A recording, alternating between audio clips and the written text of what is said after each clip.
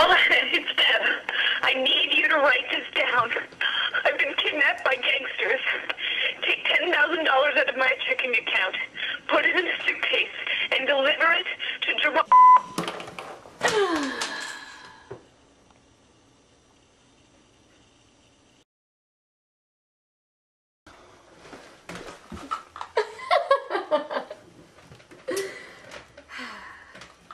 Alana, it's Deb.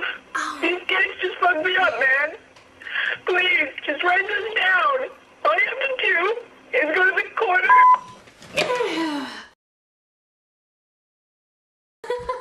Woo!